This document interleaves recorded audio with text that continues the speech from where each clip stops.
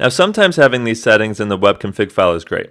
It gives better visibility to the settings, uh, allows the developers to have some control in the development process, um, gives some better control if you're in any type of shared hosting environment.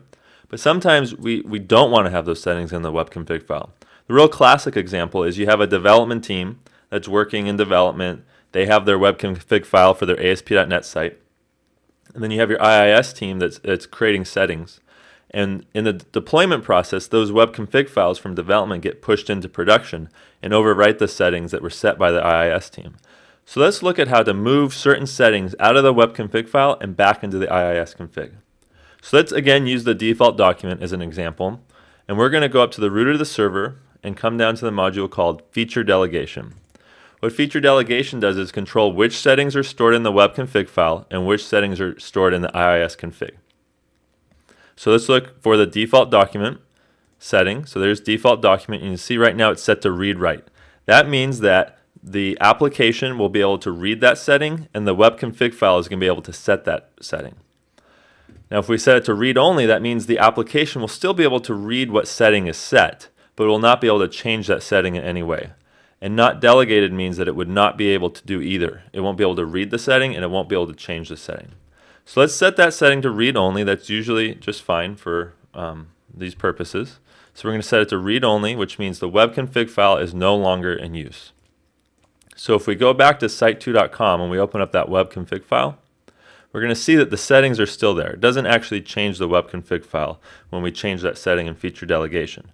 Now you would think at this point it would have taken this, this setting, moved it into the IIS config, and it would just ignore this section of the system.webserver namespace.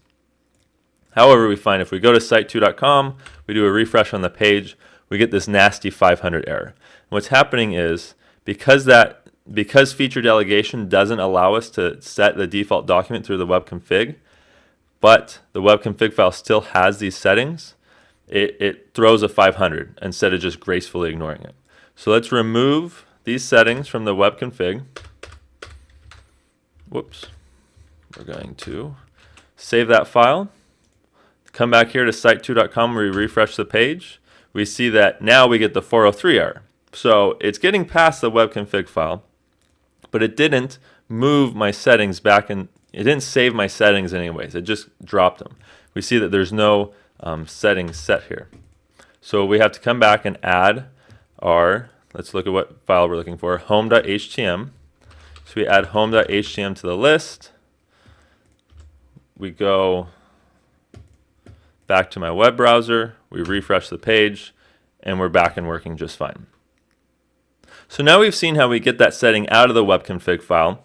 We see that also as we do any type of migration from and feature delegation going from read-only um, to read-write or, or, vice versa, um, it, it's very cumbersome. We've got to be very aware of what the settings were and go back and reset them. To make the situation even worse, let's do the opposite now. Let's go from read-only back to read-write. So if we come up here to Pluralsight, the root of our server, we go to feature delegation, we go back to default document, we set that to read write. We come back here to the default document setting. Um, it looks like this home.htm is inherited, even though it, it's not. And if we go to, um, in fact, let's prove that. Let's go back to default document, the root. We see that home.htm is not in the list. But in that migration process, going from read-only to read-write, it kind of puts us in this state that this nebulous state that's not really accurate. Now, if we pull up the web config file, um, let's reopen that just to verify we're looking at the latest one.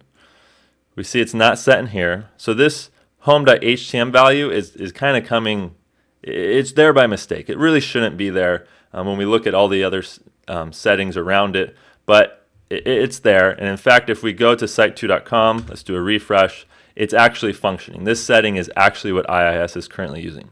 So we, have gotten ourselves in this really, this really odd state. So whenever we go from read only back to read write, it's always a good idea. Revert to parent. Let's just get it back to a known state. And then we can add our home.htm setting again. We go to our web config file. We see now it's in the home. Or I'm sorry, in the web config file like it's supposed to be, and our site's still working. So whenever we do any migrations from going read only to read write or vice versa, it's always a good idea just go through those settings, make sure everything's looking like it's supposed to be looking, so you don't end up in this state that you're not really, you know, not really supposed to be in.